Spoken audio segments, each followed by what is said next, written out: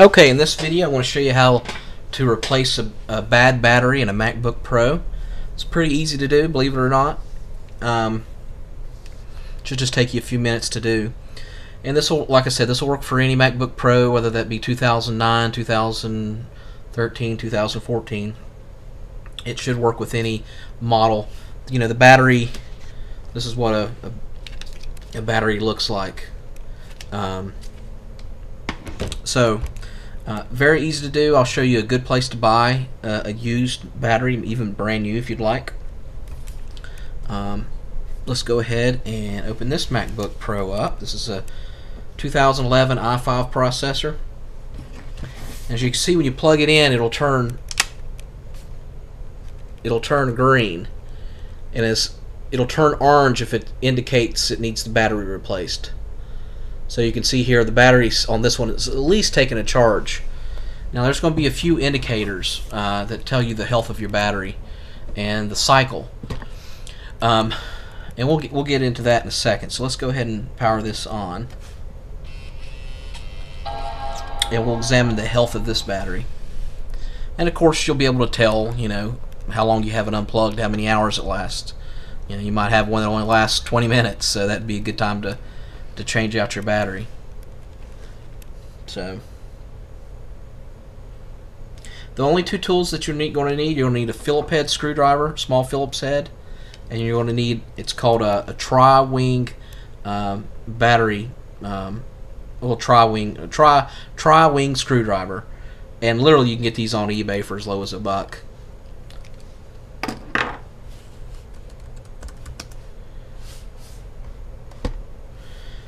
Okay, so we bring it up here. What you're going to want to do is put your cursor over the battery and hit the left button, mouse button once. Okay, it's going to say, this one particular says 48 minutes until it's completely full.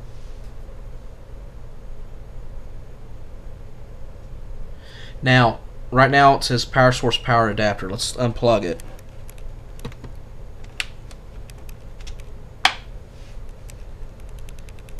And what's going to happen is, is if the battery needs to be replaced, it'll it'll say either service battery or it'll say replace soon. Uh, if it says replace now, um, then you'll need to replace the battery because actually if your battery is bad, it'll actually reduce your processing speed and your productivity. So you want to go ahead and do it. But it should have an indicator. The second indicator is how many cycles it has.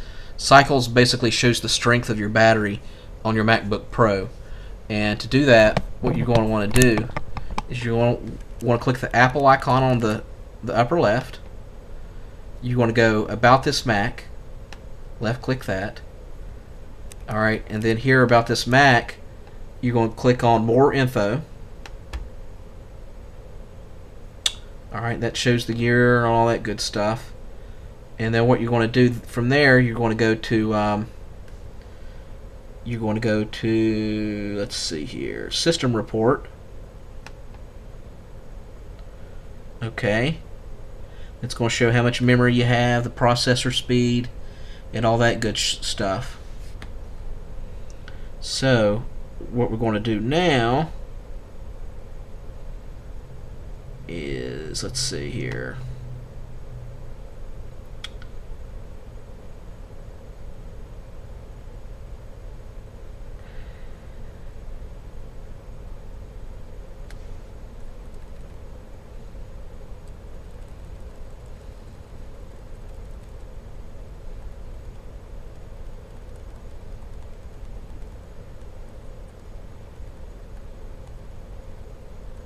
You go to power. Okay, power will be listed under your uh, hardware. So power, you go under. Um, let's see here. Cycle count is 792, and condition it'll say this one says normal. So this is a good battery. Uh, that is listed under your health information. If it's lower than 500, you might want to consider replacing it. If it's one or 200, definitely replace it. Because, like I said, it will reduce your performance. Uh, brand new battery's got a thousand. Okay. So that's how to find out if you need a battery, new battery. So let's go ahead and power it down and replace the battery.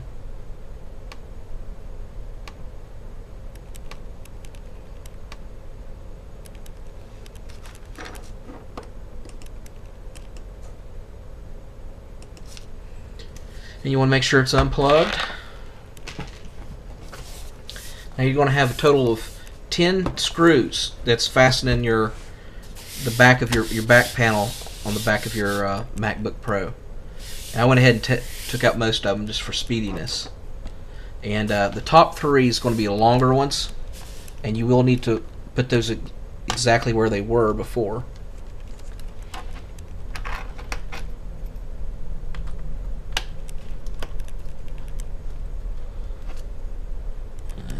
That's, one of the longer screws.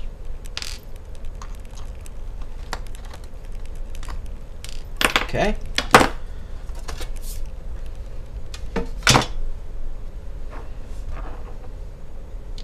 Now, uh, this is of course the battery. What you're going to want to do is pull this tab off the logic board right here. And then you're going to use your tri-wing screwdriver to take these out. Now, you could technically might get a small flathead like this to get it out. Uh, I mean, there's nothing really wrong with it. If it'll come out that way, that's cool. But, like I said, you can get them on eBay for a buck.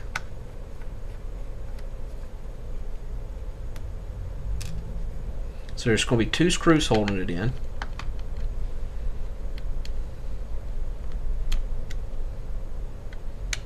Wrong one.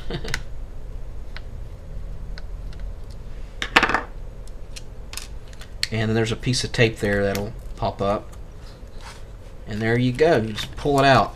Now there will be a model number on the front of it. That's the model number of the battery not the computer.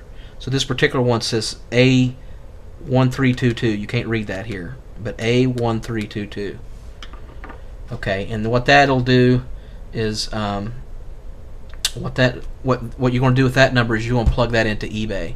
You go to eBay or Amazon type that in and then put battery then you can go to buy it now lowest first uh, you can type in genuine, which would mean a genuine MacBook battery, and then A1322 or whatever you, whatever your model number of your battery is. You want to make sure you get your model number. Um, the difference between genuine and like if you get like a new aftermarket one, of course it's going to be a lot cheaper if you get the aftermarket. Um, there have been issues with aftermarket chargers coming from manufacturers out of China that's not Apple related uh, where they've caught on fire and everything. I haven't heard anything too too bad about the um, the batteries that are aftermarket. I have seen some that have blown up, not blown up physically, but puffed up. So I don't think they're as good quality. I'd recommend getting a genuine. Uh, and to do that, just type in genuine MacBook battery, eight or genuine A1322 battery. Uh, I got I got this one here I got that one for 22 bucks on eBay, and that includes shipping. And as you can see, it had um, almost 800 cycles. So it was a, it was a, still a real good battery. Um, so I'll leave that to your discretion. Uh, okay, I'll show you here real quick um, how to find your battery. Uh, again, your model number should be like A is an apple and like four numbers. So just look on the back of your on the back of your Apple um, battery. So let's say what we'll type in here, let's say the back of your your battery says A1322. So what you want to do is go on eBay or Amazon, but I'm on eBay right now, and just type in battery. Okay, and then you could see here, you could choose right here, it'll say best match, ending soonest. So what you want to want to do here is you want to go with um, lowest first. Because of course you're going to want to get the cheapest as you can. And then you're going to go right here at buy it now not auction.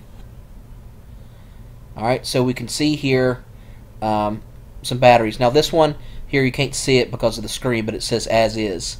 Uh, of course you're going to want to stay away from that. So we'll go ahead and scroll down here.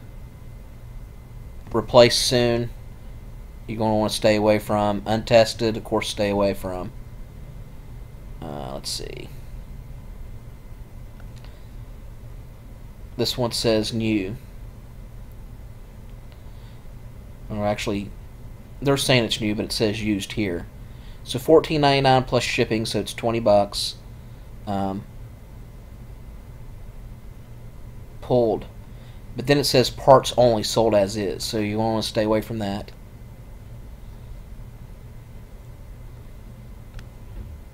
Here's another one. It says used working, and then we'll go down here in the description. Original, genuine 2009 to 2012 Apple MacBook battery. Capacity 81 to 84 percent. Um, and then of course the price is 20 bucks. I would I would get that one immediately. I would even look to any anywhere else. And the the reason is is because it says genuine. Um, I would like I said I would go go with that as you know as opposed to an aftermarket one. Um, and it should take you know anywhere from three to five days to get to you. If you want to narrow your search a little bit more, uh, you could say genuine.